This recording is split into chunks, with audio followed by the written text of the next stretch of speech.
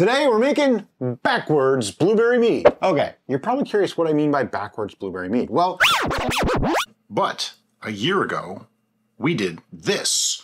And this is what it tasted like after a year. this mead is one year old.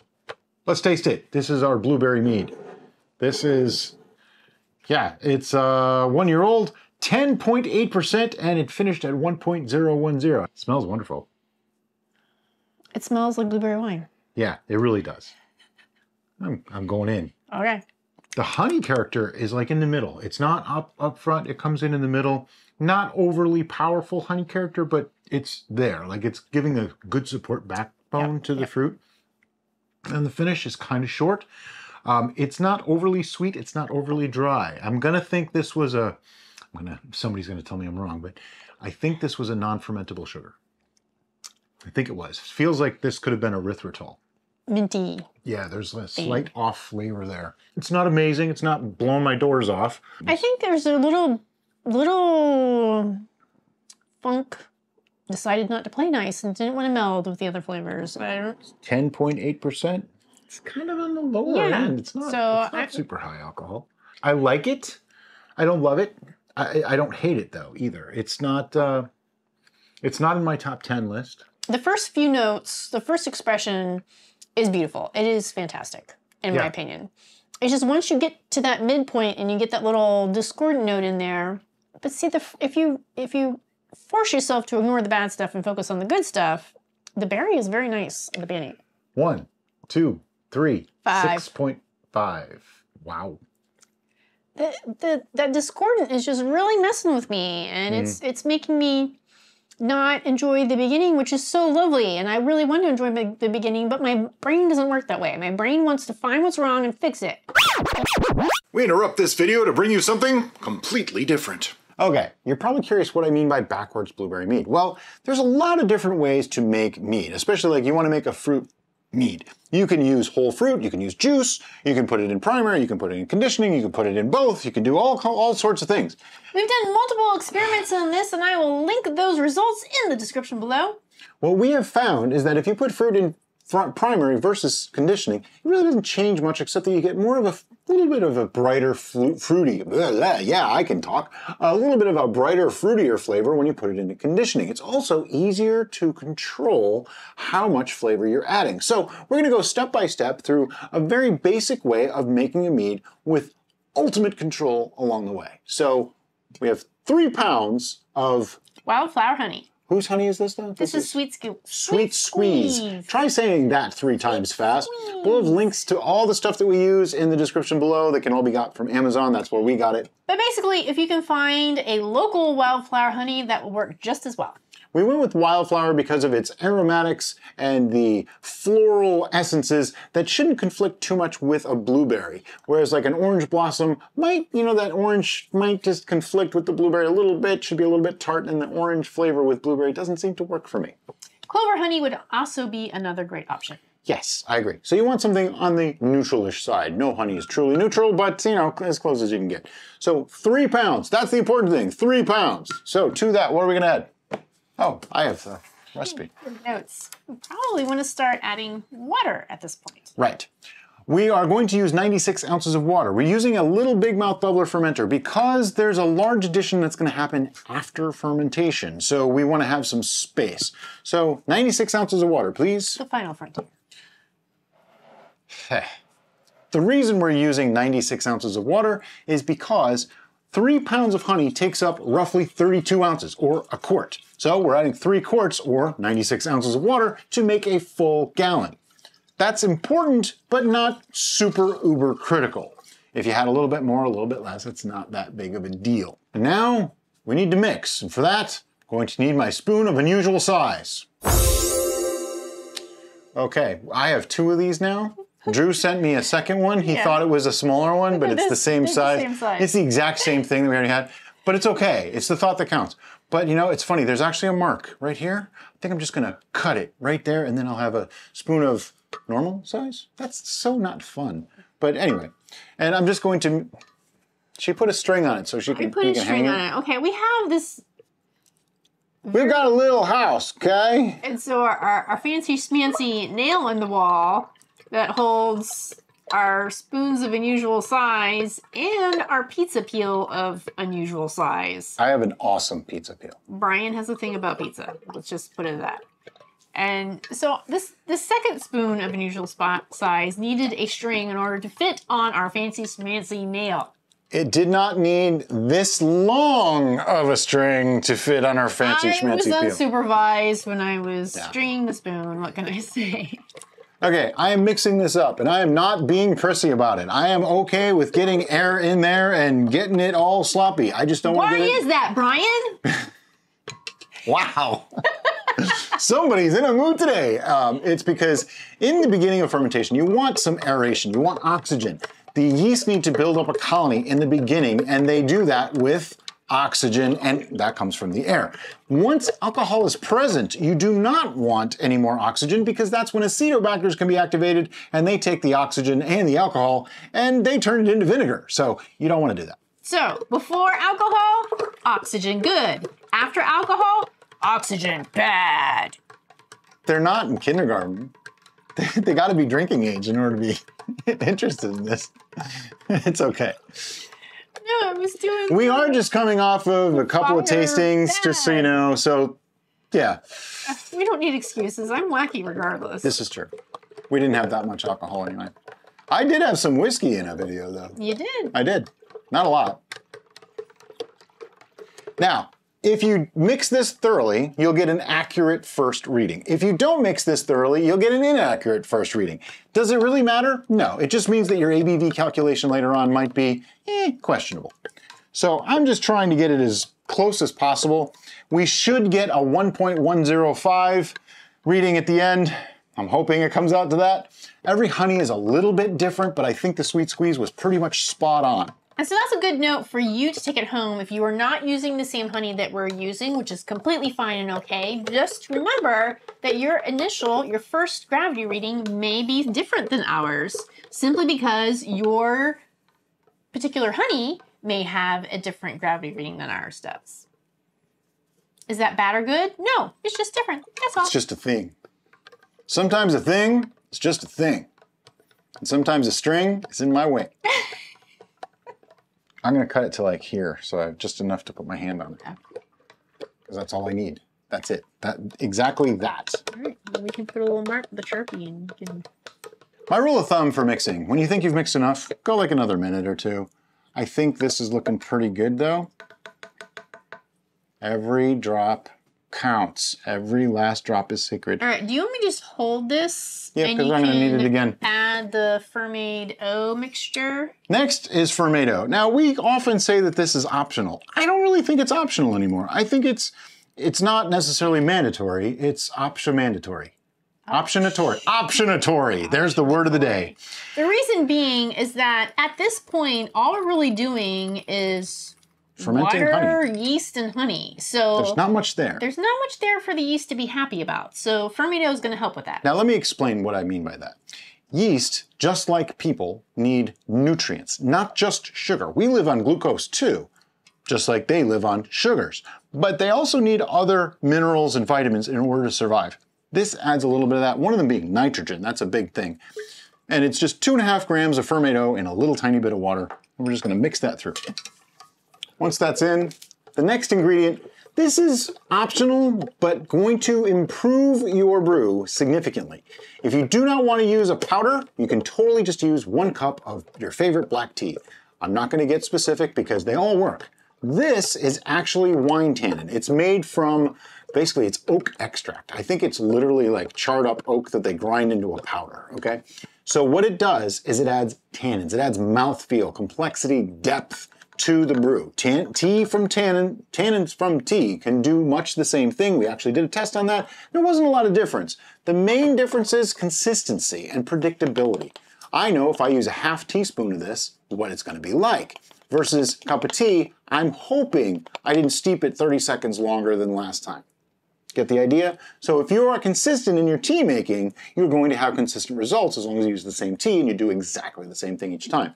The also thing you want to, to take in consideration if you're using the tea method is that the additional water that the tea adds to this will dilute the sugar if you use the exact same type of water. So if Right, you so you reduce use the less amount of water. water. based on how much tea you're adding, then you're good to go. You need to mix that again. Oh, I thought we didn't mix the tannin because it gooped. It goops anyway, but I, I don't want it just sitting there. All right. Get it in there. Get in your home. Okay, the next thing we're going to do on this, because we're nearing the completion of the initial process, and I know what you're saying. There's no blueberry in there. We know. But the next thing is we're going to take a gravity reading just to verify those numbers, make sure that we're where we think we are, and I, I it's mixed. It's good. Well, I got a goober on my spoon now. I don't know. It sounds like a personal problem. Here. Gotta get violent. Violence is the answer. Ah, I said it. Whatever. That goober, see that little spot right there? Not going in. He is not going to fulfill his destiny. Let me have the reading equipment, please. Okay. Okay, to take a reading, use a cylinder and a hydrometer. And, well, we're using the master baster, which is really just a turkey baster. We just call it a fancy name. And you stick it in there, pour some sample in until it floats. Make sure it is floating. That's critical, because if it's not floating, you're not really getting a reading. And I'm estimating, I estimated this should come out to 1.105, and it is 1.108. I'm gonna call that close enough. So I'm taking a note. Okay, 1.108, that gives it an approximate 13.5 to 14% potential alcohol when it goes dry. That's important to know because we are actually going to be diluting this at the end. So we want to be careful with how much alcohol we make. I wanted this to end up somewhere around 10 to 11, maybe even 12%. Now, that's important. Too many times we gloss over the amount of alcohol we're making and we say it's because we don't want to stress the yeast and things like that. You have to remember, ethanol is a flavor, okay? More alcohol in a brew does change the flavor. We have proof of that with, oops, I'll get into that in a second. Next thing we need to do is add yeast. What kind of yeast are we using? We're using Red Star Premier Classique. And why are we using Red Star Premier Classique? Well, let me get out my data sheet here so I can tell you But before she gets to that, things. these are terrible packets, which means they're not terrible, which means I have to use scissors. Drew, the same guy that sent me the spoon of unusual size, sent me some left-handed scissors that actually work really, really nice. In And- red. In red. Just for me, so I can tear open packages on screen. How much of this yeast am I gonna use? All of it. Can you use half if you want? Sure. Can you try to measure out a fifth if you want? Sure. But just remember, every time you go down, you are diminishing the idea or the possibility of a robust colony. So I like to just use a full packet, whether I'm making one gallon, three gallons, or five gallons. So the data sheet on Red Star Premier Classique Wait. reads back door packet. There's a couple extra. Data sheet, yes, go. A strong fermenter with good alcohol tolerance that is useful in producing dry, full-bodied red and white wines will leave a wine with intense color. That was my trigger word, first one. And excellent flavor, trigger word, second one.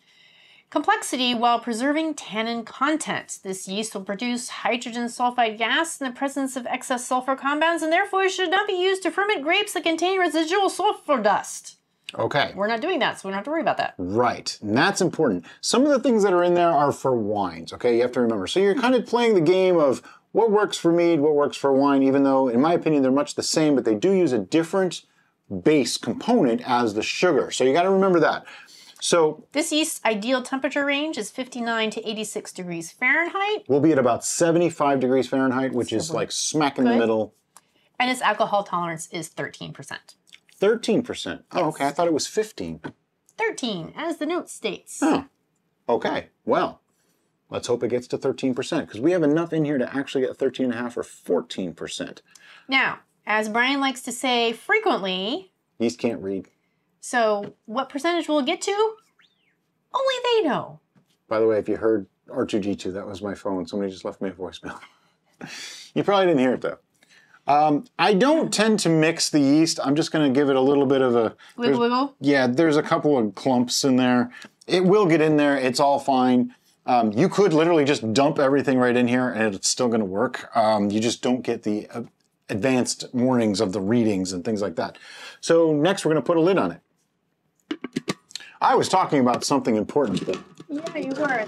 Derailed And then I yourself. I derailed I'm myself. like, you, you don't want to do that. You don't ever, ever want to do that. Yeah, you'll never now get I don't back remember. there. Well, I'm going to go off on a different tangent. The way we are constructing this, we get control. I said that in the beginning. And what I mean by that is right now we are just making a must, a simple mead that could be flavored a million different ways. We happen to be adding blueberry later, and I'll explain how that's going to work later. But we're also going to keep an open mind to sweetness levels, acidity levels, tannin levels, things like that. So we can balance this as we go. So first, we want to complete fermentation. We want to make a basic starter mead, just something very simple to work with that we can add flavors and other enhancers to down the line. So we have the lid on it, put an airlock on it, and then what are we going to do with it? You know, that's it. Probably a couple weeks. Let this ferment out. Once we see very little to no airlock activity, which is probably going to be two to three weeks, we'll, be Take back our to first check. and we'll show you what it looks like then. So it's been a couple weeks. Time to take a reading. So airlock activity was down to a crawl, down to basically nothing. We had given this a couple of swirls. Just want to give this the olfactory and optical, optical, optical observation. It smells like a mead. Does not smell like blueberries. Which is probably a good thing because we haven't put any in yet. But it does it does look right, it smells right, so now we need to take a reading. Oh, I don't have the stuff. So it's interesting. It hasn't really started clearing yet, but I do believe it's close to being done, if not totally done. Okay, this was started at 1.108, and right now, look at that. It's actually sitting at 1.020.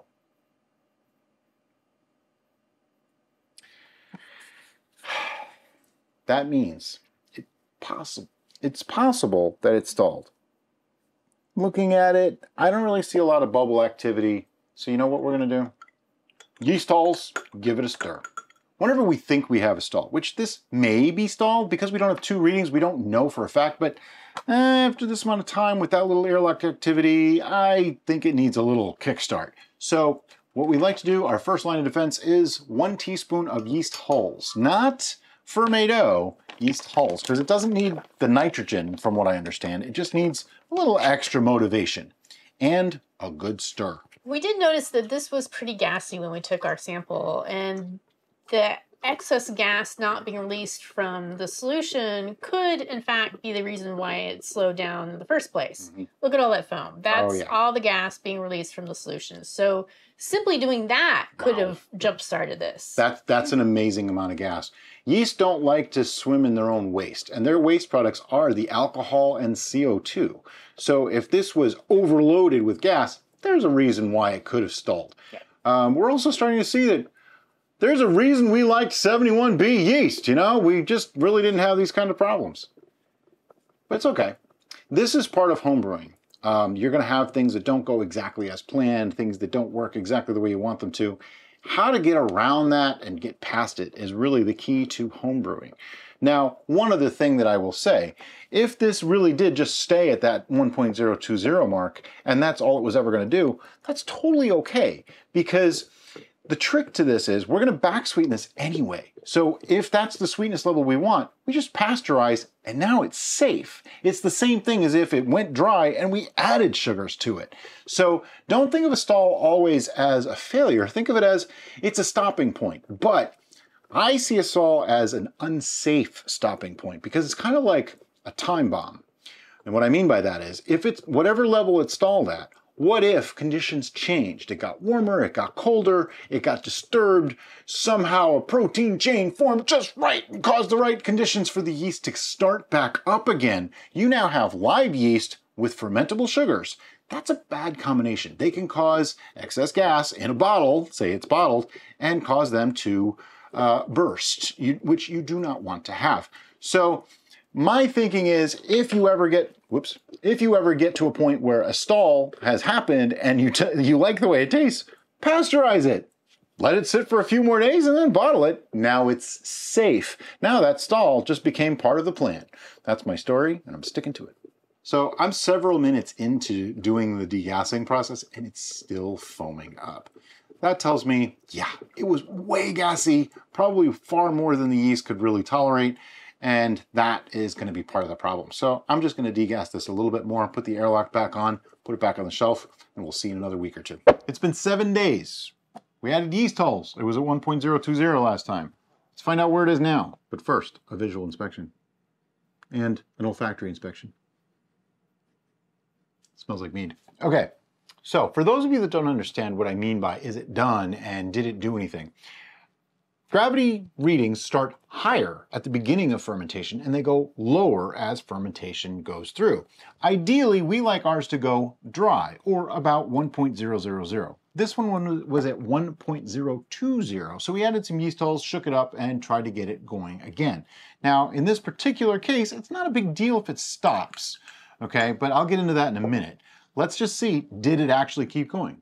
The answer to the question of did it keep going is yes, it absolutely did keep going. Uh, we got it to ferment some more. Let's see. Now, while it didn't go technically fully dry, it did go to 1.004. Okay, so that's pretty significant. I'm okay with that.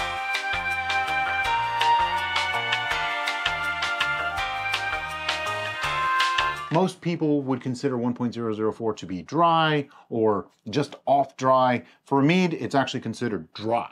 If you don't know what any of that means, I did a video on it. Just going over all the guidelines, and they are just guidelines.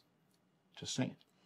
Now, if this was our final product, we would probably put this back together, let it sit another week, and take another gravity reading just to be sure. Comma, however, we know we're going to do more stuff to it. That's right. So we're not concerned. We've been calling this a blueberry mead, but there's no blueberry in sight. That's coming.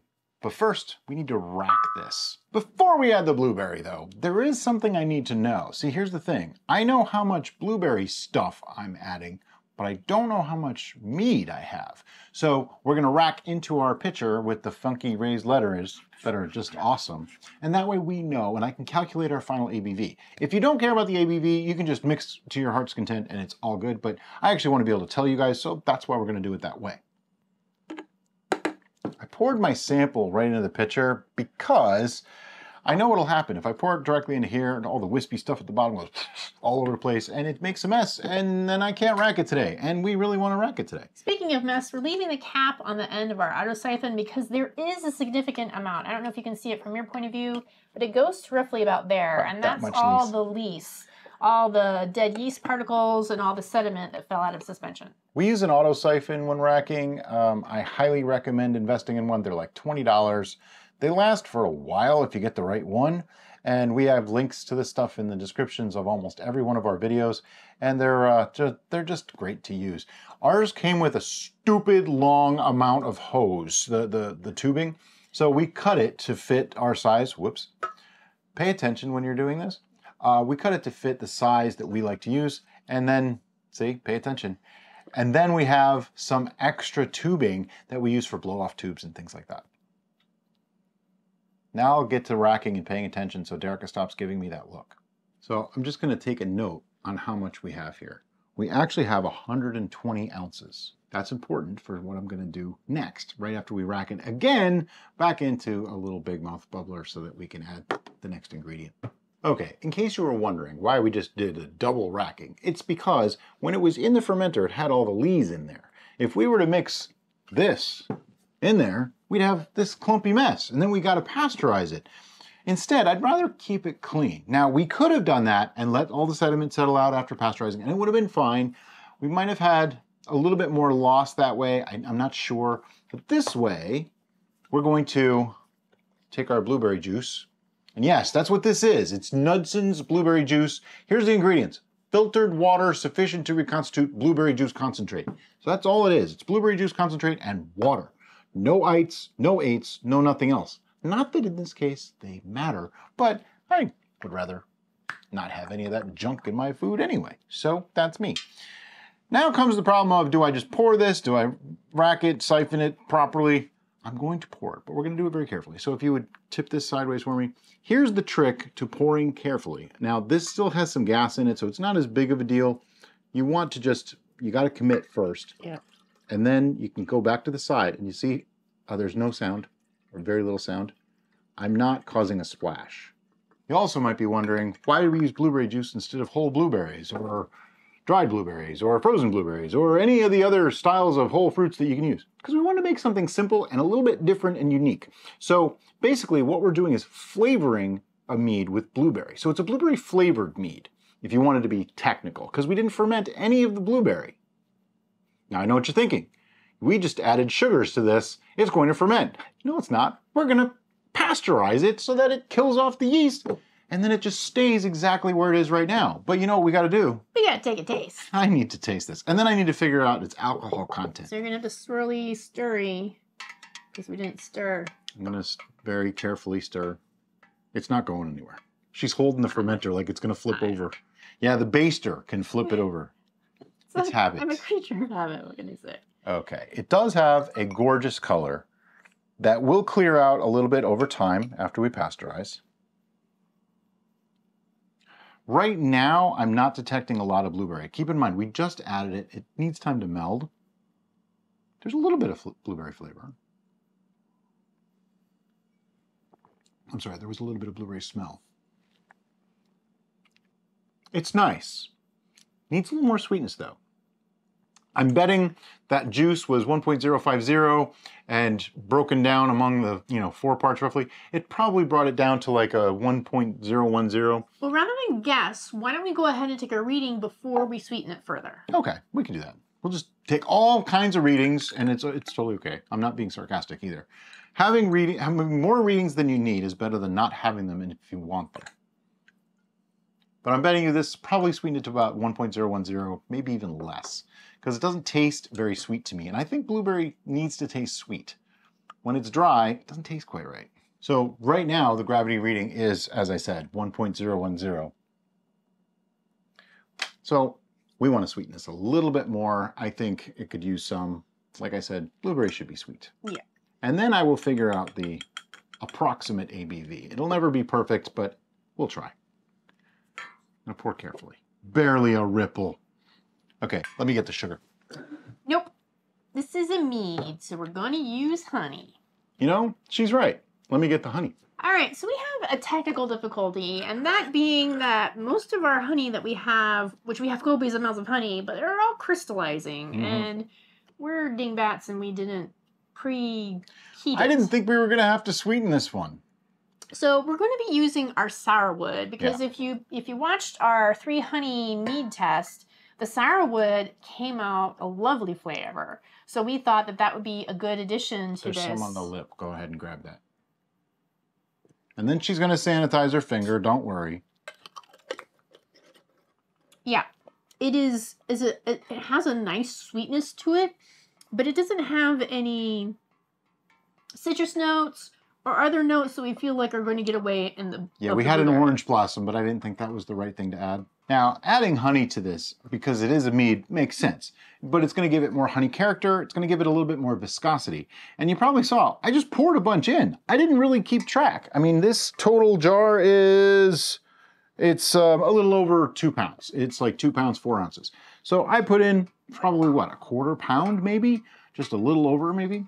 And that's why I wanted Brian to take that initial gravity reading with the addition of the blueberry so we can give you another gradu- another reading after we're done sweetening it to our taste. So that way you can have an estimate of the difference in gravities to what you might want to do for your sweetening.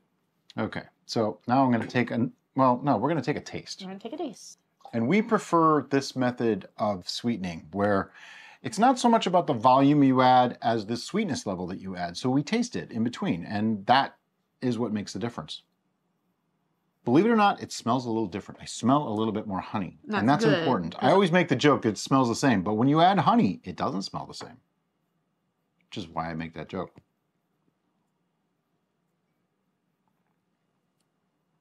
My feeling is this. It's probably about a 1.018 or so sweetness, maybe even a little bit less, 1.0, yeah, 1.018. If we add more honey, we're going to lose more blueberry. Okay. I think the blueberry character is just strong enough right now. Okay. With the honey, it works. I think if we go further, it's going to be too much, but it's not as sweet as I would like it to be. That is the truth. So this is where you kind of have to make a little bit of a decision. All right, well, here's something to throw a wrench into the works. If you want to increase the sweetness, but you don't want to dilute the flavor, do you want to sweeten more with sugar?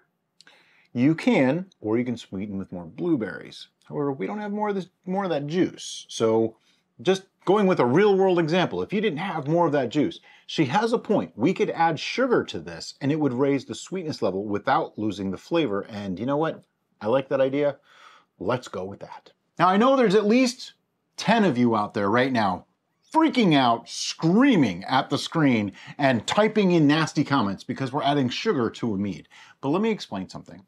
Honey is technically sugar, okay? It has flavors to it that alter things. Right now, we have this balance point of honey character and blueberry character. If we go with one or the other, it's gonna change it. So instead, we're gonna add sugar, which brings nothing to the party but sweetness. It's completely neutral for flavor realistically. If anything, it'll boost the flavors that are already there. But we chose honey initially because I felt like, and apparently Brian agreed with me, that the honey flavors weren't coming forward enough Yep. once we added the blueberry. So now that we have that nice balance between the blueberry and the honey notes, we just want to bump the sugar, the, the sweetness up, and so that's why we went to sugar. Exactly. It's just another tool in your belt, not necessarily something you do all the time. We rarely add sugar to mead, to be honest. But like a lot of people will use non-fermentable sugars to sweeten a mead, same concept. I mean, you're just adding sweetness to it. You're not changing the flavors. So we're just using it as a flavoring tool or a non-flavoring tool. Sweetening tool. It's a non-flavoring tool. I just had one of those moments where I was like, did I mix it after I added the honey? Yeah, I did. I didn't add that much. I just added probably another quarter pound of sugar, which sugar has a little bit more sugar sweetening power than honey does. So I'm betting you we're probably somewhere in the 1.025 or so range right now. I'll have to actually take a reading to find out, but that's just my guess. When I taste it, I'll know better and then be wrong. Watch. When you do mix things in in this state, you want to be very careful to not splash or cause ripples or oxygenate. You are taking a risk anytime you do something like this, but I'd much rather take a little bit of a risk by making something that I didn't like palatable than putting something that I didn't like on the shelf that I knew was safe. Because I'd never drink it. I don't really hear any more grit. My hand is starting to cramp up. You know what that means? I'm done stirring. All right, so we take another sample. Smells exactly the same.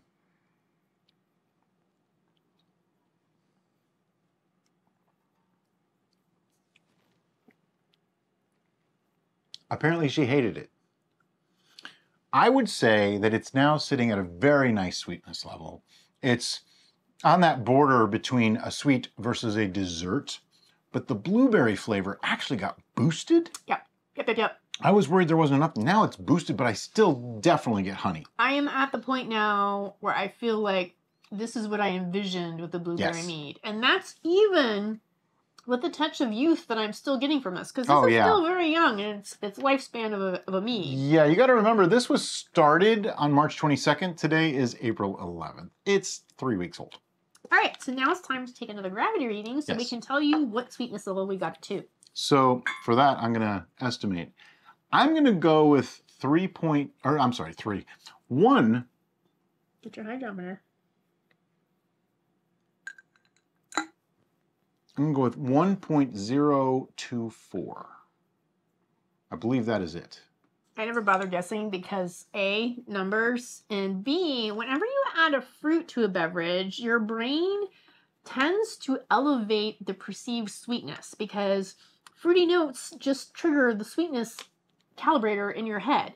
So, I just like to do it because it's fun. Yeah. Okay, I was a little bit off. It's 1.026. So off by two points. all right, so I am happy with this flavor. Yes, I think this is perfect the way it is. So what I would like to do now is pasteurize this. And we will pasteurize it right in this container. Yeah. I'm just going to pour the sample back in carefully. We have a video on full gallon pasteurization, so I'll make sure to link that in the description below. But there is one more thing that they probably want to know.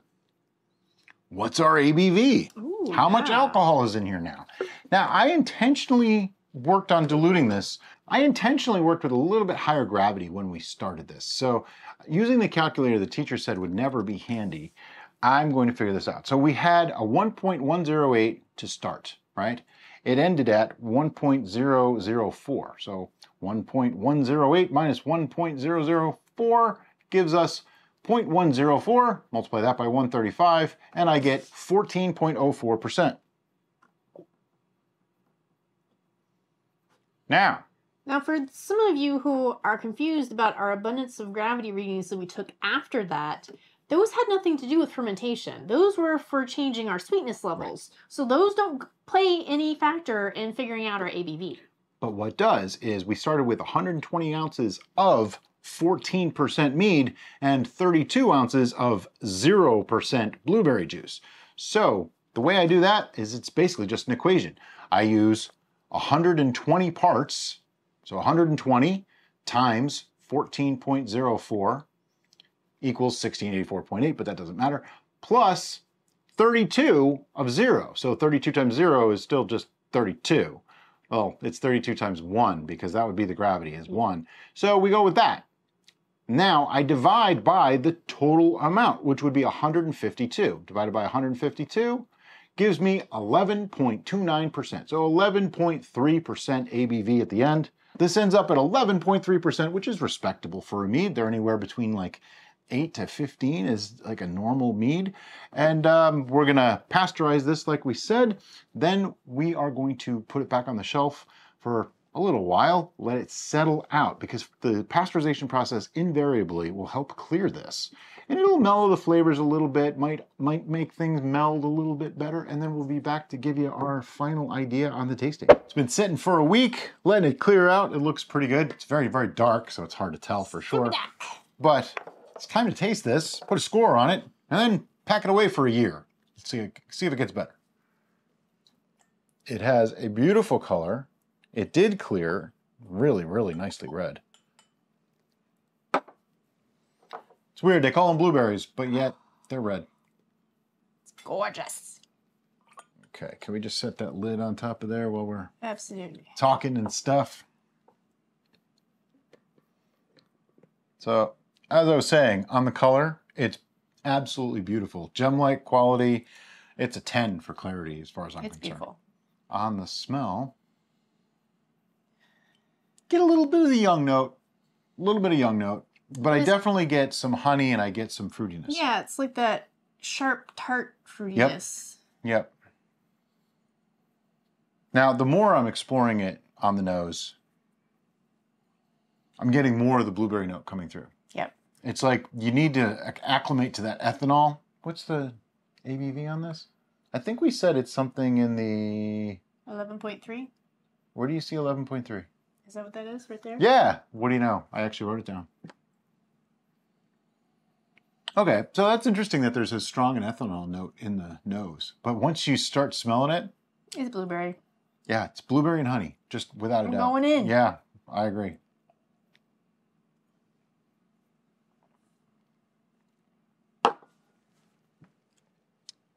That. That is awesome. that is so good. It has all the right notes. It's got the slight tanginess of a blueberry, but it has the sweetness and freshness of fresh fruit blueberries. And it's got the honey. And it's like you drizzled honey over flesh, fre- flesh blueberry. Yeah. That's a whole different kind of blueberry there. Um, but yeah, it's like you had a bowl of blueberries, and you just poured some honey over it, and that's when you. Ah, It's rich and viscous without being cloying. It's not overly sweet, and it's not even like super thick. It's No. it's got a good mouthfeel without It's- being too much. it's the perfect viscosity for what I feel a mead should feel like. Yep. What's really interesting is I'm getting an odd after breath taste, almost like wheat. Mm. Do you get that? We got it on the buckwheat honey blueberry cider that we did years and years ago. Yeah. And I'm wondering Kind of like now, this is Sweet Squeeze Wildflower. shades of beer. It's a very mild thing, though. Yeah, I really wasn't noticing it until he mentioned It doesn't take away. No. In fact, I think it adds to the experience. It, it adds another dimension. Um, wow. I mean, how, how else do you say it? It tastes like blueberry mead should taste. Yeah. This And is that- that's so much better than the first one Our, that we made. our first reaction was just like, because there it is. That's it's it's lovely, and I know this probably sounds weird, but it's lovely when your Oh, more. intent, your your vision, Take your aspirations all come together, and and you just drink it, and you're like, that's exactly what I wanted. Because normally we come pretty close, We've gotten really close a few times. uh, but I think now the sangria was a good one. Oh, the sangria was beautiful. the It was- fine was wine was another good one. another this is what I was was hoping for and here it is. And you know, this is part of the experience of homebrewing. Many people will make the same recipe 5, 10, 20 times to perfect it. And I have zero issue with that. We end up doing that too over time. But I don't want to make it and then make it again and make it again and make it again and then only film the last one. I'd rather show you guys, hey, this was our beta test. You know what I mean? It's a process. Yeah, And because nothing we've made is undrinkable except for maybe the nettle one. That one was kind of. Mm. But everything along the way has been great. Like good stuff, decent, drinkable meads. Every once in a while, one is just stellar. I think our new improved method of continuing the process. Yeah, we don't give up. Starting with our base concept and then continuing Mhm. to reach that that end goal, that ideal perfection. I think that has really helped our final product Mhm. and Oh, absolutely. helped us think about things slightly differently. So it's not just like, okay, well that's what it is. It is what it is. No. Well, also because now we're doing it all in one video too. Um, it used to be, I mean, the longtime watchers will know we used to put out three, four, five, sometimes six videos for each brew, and it got difficult to find them all. But the reason we stopped doing that is because we would make it and then release that. Then we would do the first check and release that, do the second check and release that. And what would happen is, what if that brew wasn't so great? Now somebody else that was following along with us, Yeah. they have done everything we did. And if it wasn't that great, we kind of led them astray. I mean, a little, you know, but buyer beware, uh, of course. But by doing it all in one video, you're not as likely to have started it by the time you finish the video. So you can go, Yeah. okay, that one they did not like. I'm not doing it that way. Or that one they really like, I want to do that. So that way you get to see our trials and, and errors and everything in between. Yeah. And I don't know, it just keeps it more real. I, I think it, it's an adventure. You know, we're just as surprised as you are how things are going to turn out sometimes. Um, and there's there's multiple ways of coming towards the same concept. Uh, when you add the fruit, what style of fruit you're adding, Mhm. you know, if you're adding uh, chemicals, if you're avoiding chemicals, it, all these different things. There's no right way and Yeah. there's no wrong way as long as you don't create something bad for you. There's the right way for you. Right. And, and it- what we try to stress here, and I think sometimes it gets lost in our exuberance, perhaps, is You're that exuberant, I'm not. is that we want you to know, we want you to understand the process, and we want you to mm-hmm. understand when something is appropriate to add, when something is not appropriate to add, and what it's going to do to your brew. As long as you have that information, then you can go, oh, well, the fruit that I want to use isn't in season, but I have frozen variety and that's going to work fine, or I have a dried variety and that's going to be fine. And these are the different steps that I need to do to create what I have envisioned as my final product. And so that that's that's our hope to instill in you is to give you as much knowledge as possible so you have the choice. You have the opportunity to use what's available to you and create something that you're going to enjoy. It goes back to an article that I wrote uh, many years ago that I think is still in our blog. Are you a how or are you a why? Because there's lots of people on the internet that will say, here is how you do something. Step A, B, C, D, E, and F. And if you follow these steps, you'll be successful and it'll be great. Done. and story. And we could do a mead video in under seven minutes, because we showed it, on how to do that. But it didn't explain why.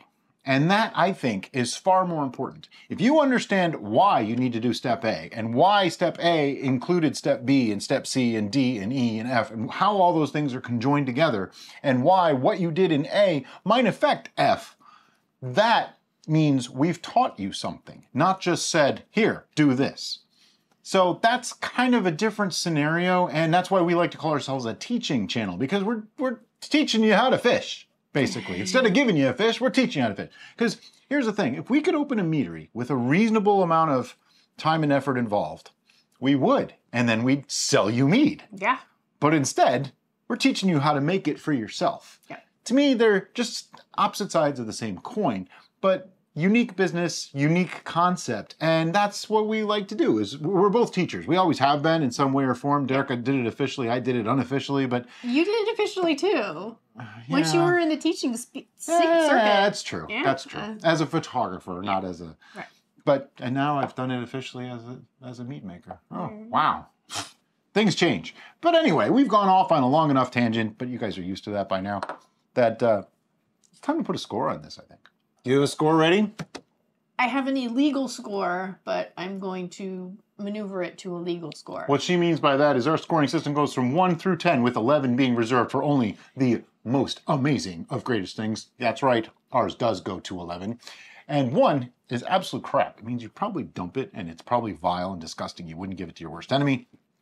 10 is like the best thing you've made. It came out exactly the way you want. It's just perfect for you. 11 is like just a notch above. It's that exceptional thing that doesn't come along very often. We go half points.